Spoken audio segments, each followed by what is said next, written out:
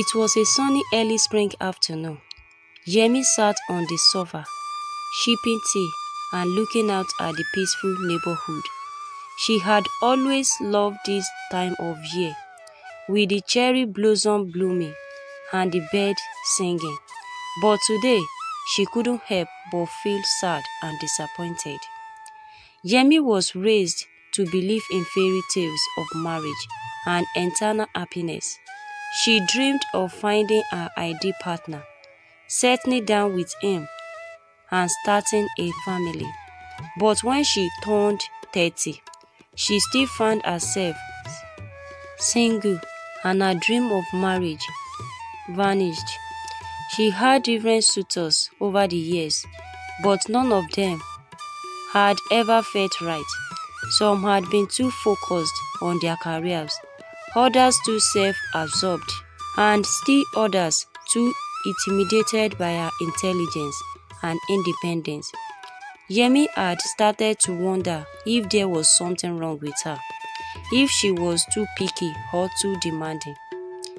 As she sat on the coach, lost in thought, she heard a car that drove in her compound. It was her best friend, Bola, who had been married for three years now and had just had her fourth child.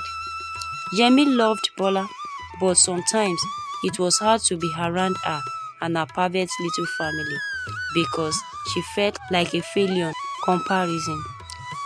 Bola went upstairs and hugged Yemi tightly. Hi, girl, how are you? She asked. Yemi forced a smile. I am fine, thank you. How is the baby? He's doing great. You should come play with him sometime. Yemi nodded, but deep down, she felt jealous. She always wanted to have her own child, but without her husband by her side, it seemed like an impossible dream. Over the next few weeks, Yemi tried to shake off the negative emotions and focus on her freelancer writing job. But every time she saw a happy couple or a family with children, her heart felt like it was being stabbed by a knife. She was sitting in a coffee shop planning to write an article about dating in the digital age when she overheard a group of women chatting at the next table. It is amazing how single women are meeting real men these days. It is all about online dating and swiping left and right. So carefree, oh Dua, one of them said. Yemi couldn't help but agree she had tried online dating before, but it always left her feeling empty and disappointed. As she packed up her laptop and headed to the coffee shop, she noticed a flyer on the bulletin board that read, Hang out with singles, meet like-minded singles in a fun and comfortable environment. Yemi hesitated for a moment, then tore off the leaflet and stuffed it into his wallet. Maybe that is exactly what she needed to boost her love life. On date night, Yemi felt nervous and self-conscious when entering a crowded room, but as she mingled with other singles, she is not alone in her struggles and fears. Everyone there was looking for the same thing she was, love and companionship. She picked up a conversation with a man named Ayo, who worked in a finance and had a good sense of humor. They laughed and joked together, and Yemi felt a spark of attraction that she hadn't felt in a long time. As the night wore on, Ayo asked Yemi if she wanted to go for a walk outside. They strolled around the block, chatting and getting to know each other better.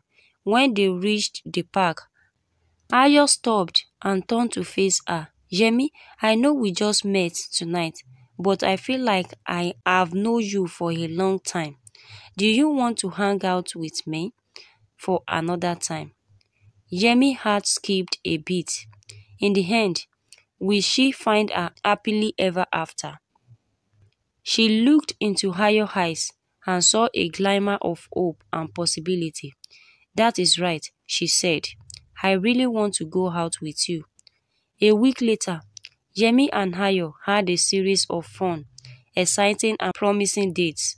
They watched movies together, visit new restaurants and bars, and talk for hours about their hopes and dreams. Yemi felt like he was working on her. She finally found someone who appreciated her for who she was, who made her laugh and feel alive. She dared to hope that maybe, just maybe, this was the man she was waiting for. But then, as suddenly as it began, it all came crashing down. One day, Ayo called Yemi and told her that he could not continue with her anymore. He said he had met someone else and didn't want to cheat on her. Yemi is devastated. She let herself believing that she had finally found her soulmate, only to have it taken away from her. For days, she wallowed in self-pity and despair. She felt like she would never find love, never have the family she had always wanted. She wondered if she should just give up on the idea of marriage altogether. But then, something inside her shifted. She realized that she had been putting all of her hopes and dreams into finding a man, instead of focusing on herself and her own happiness. She started living a normal life and also spending time with her friends and family. She also started writing again, devoting her body and soul to her work and finding joy in the process. She realized that she did not need a man to complete her, that she was strong, capable, and worthy of her own love and happiness. One day, something unexpected happened. She was at grocery store picking fruit for dinner when she ran into her middle school classmate. His name is Akin. He is a handsome young man who is also fun to be around. They chatted for a few minutes and then caught up. Then Akin asked Yemi if she wanted a few drinks. Yemi felt excitement in his stomach, then replied with an eyes-catching smile. Yes, I would love that. A few months later, Yemi and Akin fell in love. They went on a romantic date, took a long walk in the park, and spoke for hours about their hopes and dreams. Akin is kind and thoughtful. He makes Yemi feel like she is the most important person in the world. And then one day, he got down on one knee and asked Yemi to marry him. Yemi couldn't hold back his tears. This is what she has always been waiting for. Dream come true. Yes, she said, I will marry you. Three months later, Yemi married Akin. As Yemi walked down the house on her wedding day, surrounded by family and friends, she felt a sense of joy and gratitude that she had never experienced before. She looked at Akin, who was waiting for her at the altar, feeling peace and contentment. She lost hope in marriage, but she found it again. His joy was later restored. A few months later, she gave birth to a bouncing baby girl. Ayo and his wife were very happy when their new child was born. Her husband gave her a car to celebrate. Yemi couldn't help but shed tears of joy. Her husband loves her very much. He helps her with housework whenever he is home. Yemi lived the life she always wanted as a married woman and mother. Thanks for watching this video. Please subscribe to our channel to support us. Hit the notification bell, like, comment and share.